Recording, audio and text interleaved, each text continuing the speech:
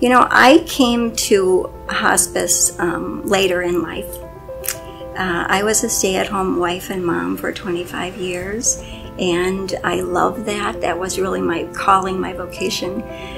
And during that time, I was able to, I was lucky enough to be able to do a lot of volunteer work. And I volunteered doing hospice and funeral ministry and, and a lot of things that ended up um, um, working with the, the grieving and the dying.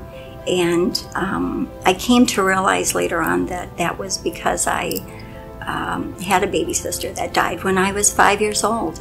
And it strongly affected me, impacted me in ways I really wasn't aware of until much later in life.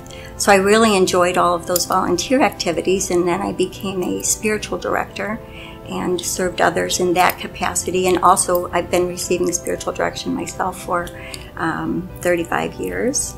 And, and as I deepened into all of that, I realized that I just, I truly had this passion to work with dying, to move toward that as opposed to away from that. You know, they kind of talk about us like we're kind of like the firemen that are rushing into the burning building where everyone else is rushing out. You know, a lot of people don't want to talk about death and dying. It's very uncomfortable for us as a society. Um, so we're a little countercultural in hospice in that we actually go toward that that developmental process of dying.